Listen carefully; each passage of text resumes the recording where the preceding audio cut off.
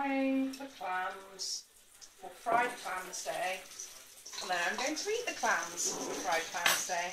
And it's also vinegar day, so they are, well, cockles, a kind of clam, in vinegar. Are we sure they're a kind of clam? They are, because I looked it up on Google, Okay. and they are actually a kind of small clam. In that case, I will take your word for it. There we go. I have chilies and garlic and butter Tabasco sauce to try and mask the flavour.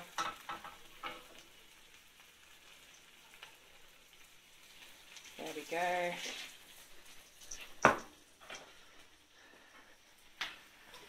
Right.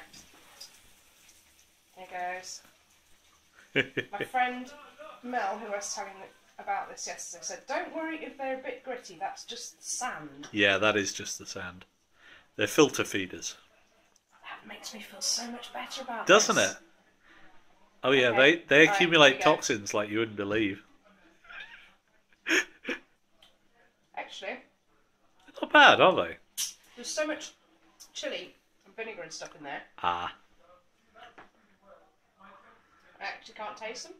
I feel like if you can't taste them, it doesn't really count.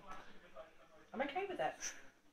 I feel like I and the internet feel slightly betrayed, indeed, What do you mean betrayed? if you don't fully taste the cockles. Look, I just ate one without any chili or anything on it. Ah, sure. You want me to eat one straight out of the jar, don't you? Yes. Fuck's sake. I feel like the internet and I expect this of you. This is going to be horrible. As really a minimum level of cooperation. One on the fork. Uh huh.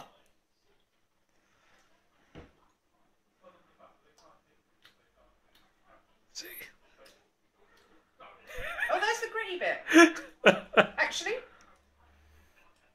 not as horrible as I thought it was going to be. I've swallowed it, so therefore it's an improvement on caviar day. there you go.